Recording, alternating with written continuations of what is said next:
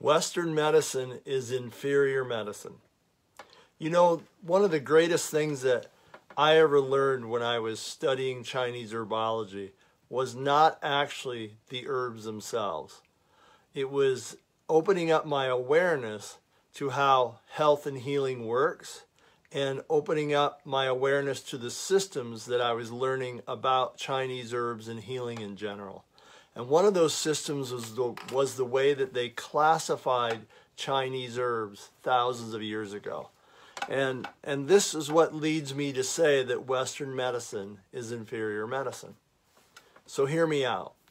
In China, thousands of years ago, when they originated the original pharmacopoeia of China, which contained over 6,000 different substances, that pharmacopoeia was classified to three distinct classes of herbs. There were the superior herbs, the general herbs, and the inferior herbs. Now, the superior herbs make up the very smallest class of all those herbs. In fact, it's less than 100 herbs, and in general, the most widely used ones are probably less than 20.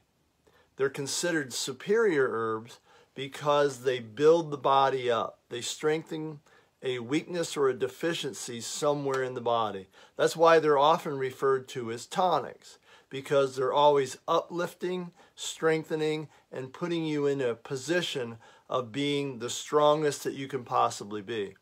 That's the class of herbs I focus on at HerbWorks for all of my products because I realized over the decades that I was working in an herb shop and, and putting people on programs that their number one health issue really was stress and how it wears the body out. And so if you can't build somebody back up, then they're always going to be experiencing their health problems. Now the second class, which is just a little bit bigger than superior herbs, is called general herbs. And general herbs are often taken along with superior herbs so that you digest them a little better. They also balance out certain types of problems that you have, you know, movements of energy. It helps your body flow energetically much better. So they're great in combination with superior herbs, but they don't build your system up so much. And then the third class, which is the largest class of herbs in China, the largest class of herbs in any herbal system, and really where most modern medicine falls, is this class of herbs called inferior herbs. Now, inferior herbs are often referred to as poisons because they're designed to kill something off that's invaded your system. So if you take an inferior herb and it works really well, you're probably thinking that's the greatest herb in the world because it killed something off and you were able to regain your health. Yet there's nothing in that class of herbs that makes you stronger or helps build your health up so you don't fall into being chronically worn out or experiencing all these illnesses. So it's an inferior herb. And if you took an inferior herb when you were feeling really well and didn't need it, you'd get sick because it is kind of like a poison. It's designed to kill something off.